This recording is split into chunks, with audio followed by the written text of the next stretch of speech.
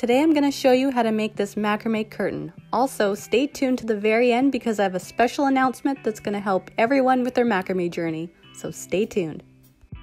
Be sure to take a screenshot of today's project details. Now let's get started. The very first thing we need to do is hang our curtain rod and then take a couple of measurements. Because this is a custom project, you really want to know the size that you need it to be in the end. Next, attach your cords on your rod with a 12 inch tail. We need the seam allowance for the fringe later on, you'll see. To attach your cord, we're just going to tie a regular overhand knot. We do not want this knot secure. Now, my curtain is 49 inches across, so to determine how many strands of cord we're going to need, we need to do a tension sample. And we're going to have to do a little bit of math, so stay tuned for that. Okay, so to check our tension, we're gonna have to tie some alternating square knots. Two to three rows will suffice. And also, if you're unfamiliar with your knots, I would like to invite you to go check out my knot tutorial playlist. I'll leave the link in the cards above.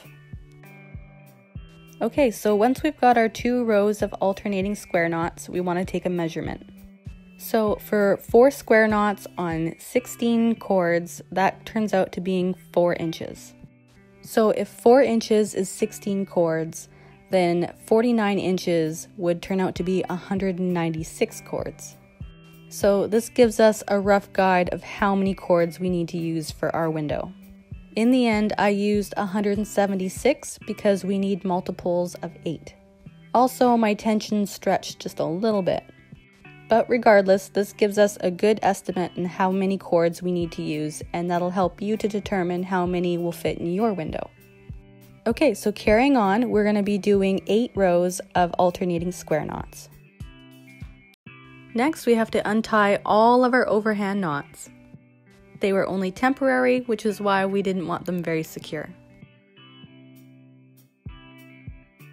Once you've untied all of your overhand knots, you want to take your project and have it hang over top of your curtain rod, with your shorter ends on the back side of your project. Next, you want to take the first four cords in the back of your work and the first four cords in the front, just like so, and then you want to split the back two cords in half.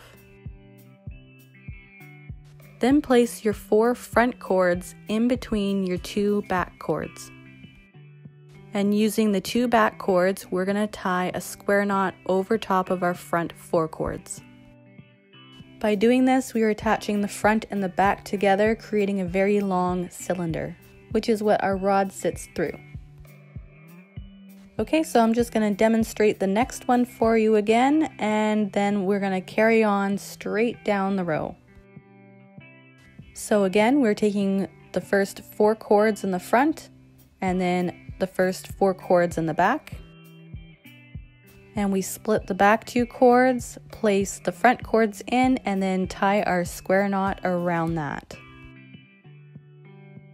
I really like the large knot detail that runs along the top of our curtain. Okay, so let's motor on through across our entire row now.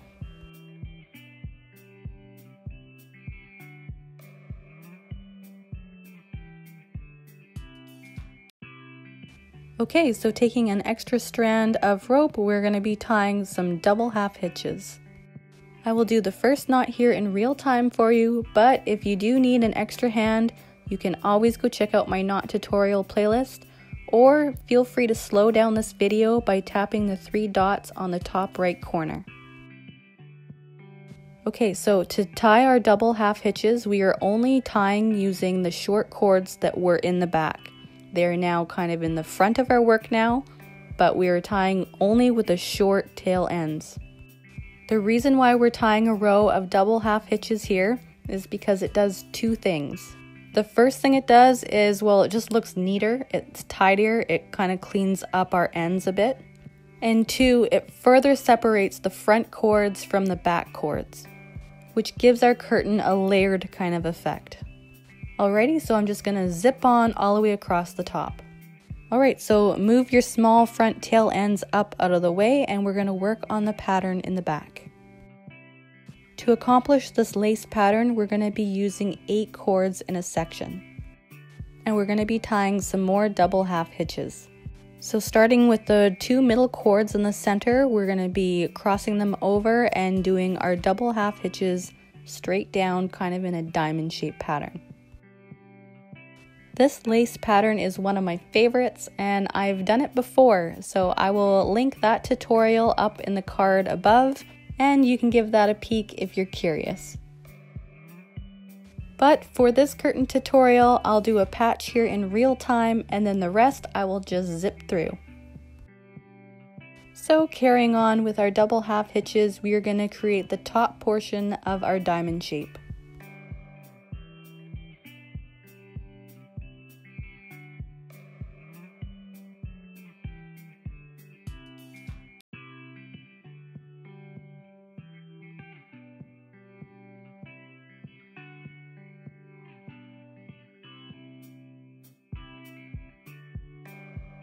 Once you've worked all cords, we're going to let go of our filler cords here and then tie a square knot in the center with the remaining cords in the middle. If you wanted to, you could switch up the middle knot in here. You could do a Josephine knot or maybe weave the ends, but um, I chose a square knot just because I like the congruency. I adore those large square knots we did up along the top, and I just really thought it tied in well to do more square knots in the center. But you do what floats your boat. I like the square knots, but you know, you do what you like. So using the same filler cords, we're going to be tying more double half hitches to complete the bottom diamond shape.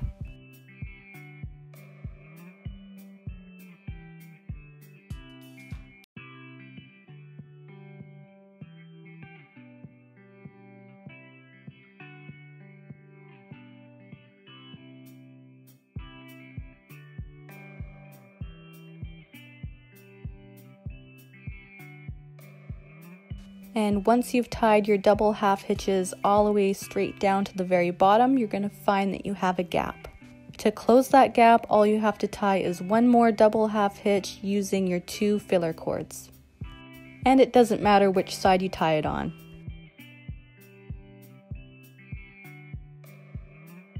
Okay, I'm going to repeat the same process with the next 8 cords and then I'm going to show you the next following row.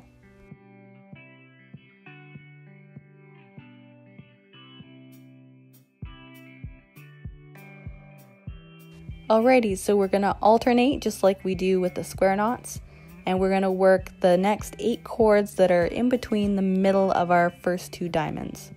And also to give it more of a lacy look, we're gonna space it out just a little tiny bit, about a centimeter and a half or so, and carry on with our double half hitches.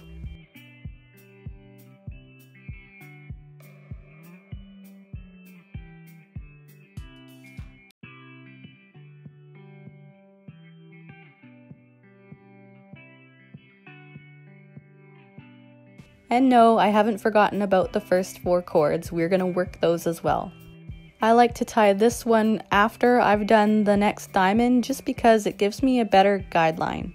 When you're tying double half hitches, um, your cord and your design go in the direction that you hold your filler cord. So to have that guideline in place is really helpful and I'm better at determining which way the angle goes. I hope that makes sense. Okay, so this is the basis of the pattern in the back of our curtain here. I'm gonna carry on and do the next two rows.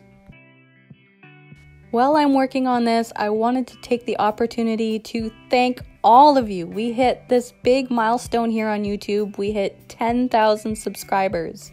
You have no idea how much your support means to me. I, I appreciate every single one of you. To celebrate this YouTube milestone, I am making myself this curtain and I made myself cupcakes too. And to show my appreciation to you, I have a special announcement that I am going to announce at the end of this video. Okay, so back to the pattern. For my third row, I did six more sections here. And then for the seventh one, I am just going to tie the top half of our diamond here. For my curtain here, I didn't want it to go straight across. I wanted to have a little bit of an arch in the center. So tying half of a diamond here really helps give that gradual kind of arch effect. However, if you wanted to, you could go straight across too, that looks nice as well, but for mine, I decided to have a little bit of an arch. And of course, I'm gonna do the exact same thing to the other side. Okay, so it's time to deal with the fringe at the top. So let's bring it all down and give it a little bit of a trim. I snipped mine at about an inch and a half in length. While you're snipping, of course, be very careful not to nip any of the cords in the back. And now that it's all trimmed, we need to brush out the fringe. As you're brushing out your fringe, you might notice that you have some tail ends that stick out a little bit. That is no biggie, we just go right back in and snip it some more with the scissors. The more time you spend combing and trimming, the sharper your line will be. And while we have our scissors out, we're going to be cutting along the bottom as well. The easiest way to cut a straight line is to attach a string line onto your rolling rack. I have two string lines because I wanted mine arched and that gave me a better guideline to where to trim.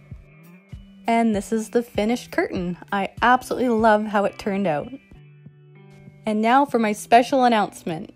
I have created a Facebook group where we can all come together and share all of our work together. It also gives me a better opportunity to help you if you have any questions about any of the patterns that I've done or if you want to learn more about macrame. I will leave the link to my new Facebook group in the description box below as well as in the comments. I really hope to see you guys over there. And if you're new here, I hope you consider subscribing and being a part of this awesome community we've got going on here.